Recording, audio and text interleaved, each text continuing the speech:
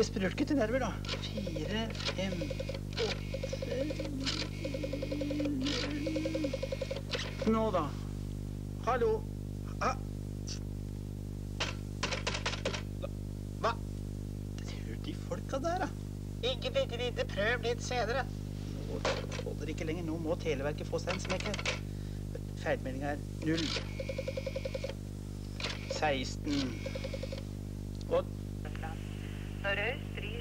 vær. Øst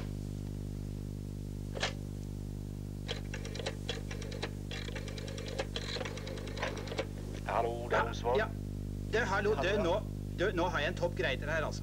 Skikkelig firestjerneskandale, en som du kan kjøre ut i Dagsrevyen så det braker. Du, Stutum, hva er det du vil for noe Du, nå? det er full kollaps på telenettet, vet Ja. du. Du, jeg skal ha ut en lite budskap til Gunnhild, Gunhild, vet du. Jeg er borte hos svigerfatter. Tenkte jeg hun kunne ta den Viken-bunkringa på veien hjem og greier. Ja. Du, det er full blodpropp på nettet. Nei, men du, Du, jeg har ringt Falken, jeg har ringt krisesenteret. Kommer ikke fram, vet du.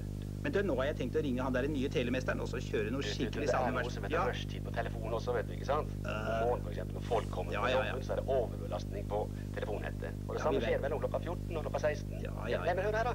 Eh, Ring midt på dagen eller om kvelden, Stutum. Ja. Det er billigere også, da. Ja, visst. Ikke sant? Etter klokka fem, for eksempel. Ja, Enfold død etter klokka fem. Hvor er det du får kjøpt noen flytende druer da? Hallo?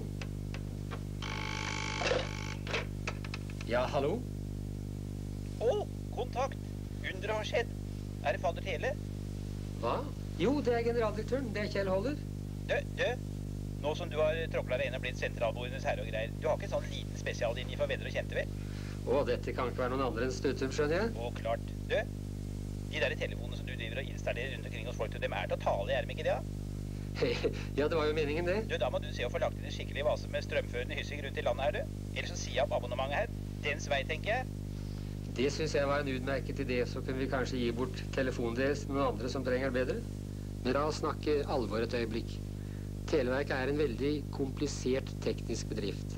Når de ringer nå klokka halv fire, så er vi midt i den verste deres går til en lokal boks, derfra til en lokal sentral, og så altså til utstyret hos mottakeren til slutt. Så som de forstår, det er komplisert teknikk som skal passe sammen for at samtalen skal komme frem, og det kan skje ting. Men vi har bevis for at framkommeligheten er blitt atskillig bedre i den senere I all verden. Jeg snakker jo med dem i telefon. Du, jeg tok en langs bakken, jeg, for det går mye raskere, vet du. Men du, det der med abonnement, det opprettholder jeg, så det er du klar over, ikke sant? Ja, ja. Jeg snakka med Ronald, vet du, Ronald By. Du, Televerket, han og jeg, vi mener at det er